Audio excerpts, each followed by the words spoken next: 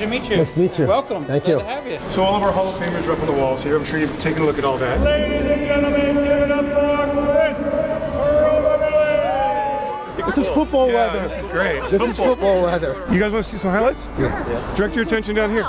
It's been a nice season. Why not run some highlights? Here you go. Watch.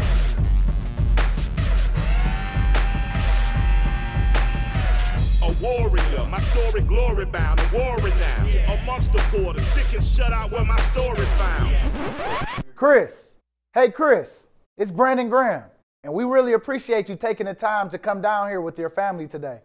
I know you're a little confused as to why you're here, but I'm about to clear that up for you. The NFL is hooking us up with two tickets to the Super Bowl 52 in Minnesota. And you, Chris, have been selected to represent the Philadelphia Eagles on February 4th. Thank you for being such a devoted fan. You stick by us all year long. So this is our opportunity now to support you and say thanks for the passion, commitment, and energy you bring every week at Lincoln Financial Field. So Chris, are you ready? Yes. oh my God.